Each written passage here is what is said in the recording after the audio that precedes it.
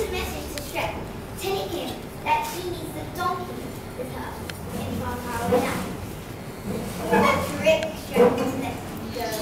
And when he does go, I will tell Shrek that he has had a terrible accident and is no more. Shrek's heart will be torn apart. Then I will tell him I can bring Donkey back as long as he is best. Senseless genius.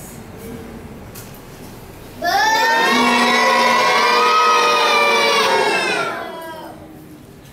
have casting spells in my own time.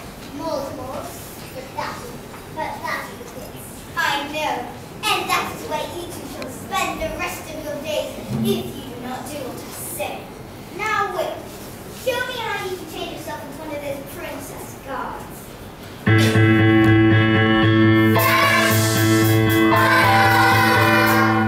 Your evil is sir. I'm here.